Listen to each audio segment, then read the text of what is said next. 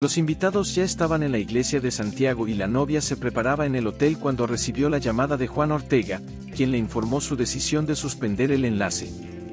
A solo 30 minutos del inicio de la ceremonia,